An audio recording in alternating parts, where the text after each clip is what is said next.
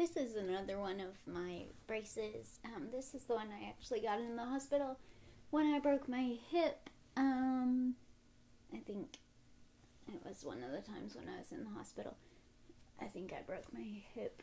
Um, yeah, it would have had to have been. So, anyway, this one is like a super heavy duty stabilizer.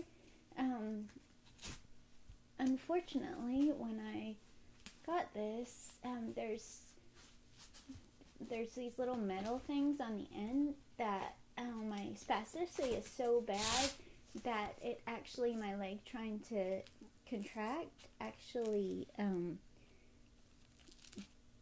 pushed the metal part out of the cloth material surrounding it. So it um, would dig into my calf near the bottom and eventually gave me a scar there.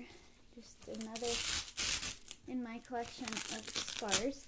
Um, but anyway, this one works really good for keeping your leg completely straight. The bad thing about it is it goes up so high on your thigh that if you have it on when you need to use the restroom or something, it becomes it, it just gets in the way. Um, you can use the restroom with it on and like survive, but um, it's difficult.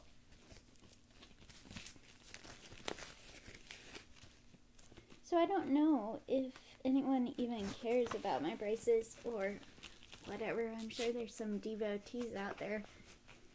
In case someone watching this doesn't know what a devotee is, apparently that's someone who gets off on um, disabled people.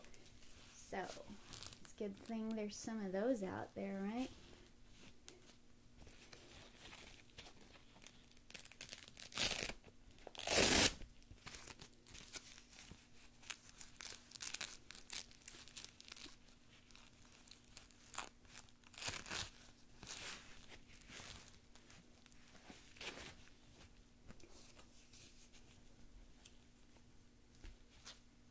And that's it. One braced up leg.